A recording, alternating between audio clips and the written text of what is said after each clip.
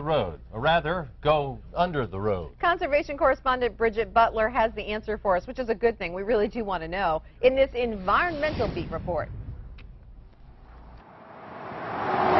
The Monkton Vergennes Road is a busy travel corridor, busy with commuters and with wildlife. So we have the rare blue-spotted salamander, the rare Jefferson blue-spotted hybrid, four-toed salamanders, and the relatively common spotted salamander.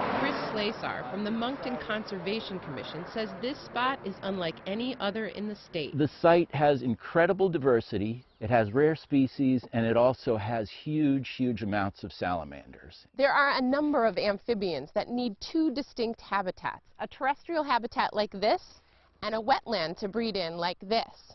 The problem here in Monkton, there's a road in the middle. For a rare amphibian like the blue-spotted salamander, that's big trouble. With 1,800 cars a day during their migration, we're losing probably 50% of the animals that cross the road. The plan is not to help them cross the road, but go under it, with a price tag of $300,000. So imagine an eight-foot box culvert here buried about two or three feet in the ground. Two structures with retaining walls will corral the amphibians toward a tunnel beneath the roadway.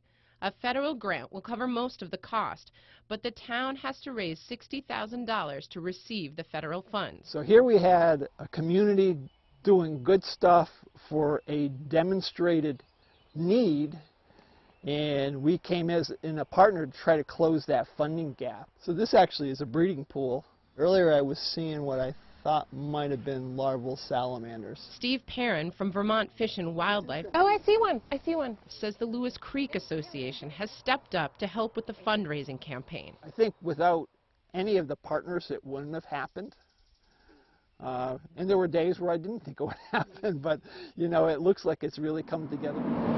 The project team hopes to meet the fundraising goal this fall and break ground next summer. So if we, as citizens of Vermont, can keep common species common, then we're ahead of the game. For Echo and News Channel 5, I'm Conservation Correspondent Bridget.